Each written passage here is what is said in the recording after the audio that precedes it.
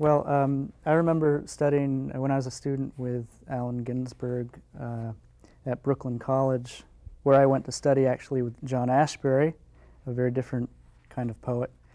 Um, Ginsberg told our class about, uh, I believe it was a Chi yes, it was a Chinese poem during the Cultural Revolution, and he said the most revolutionary poem then was this this piece about a sunflower, and I remembered that and um, going through the various uh, struggles I had in the the 80s. Um, uh, and, and, living in New York, which seemed to be a hotbed of very many things, then um, one time in the park under cherry trees, this poem seemed to articulate what I thought being revolutionary meant.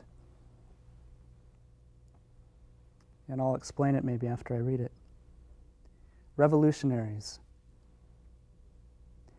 We sit beneath the cherry trees and draw lines on our faces using blades of grass, smiling, flossing teeth with grass, tickling gums with grass, promising to come back tomorrow.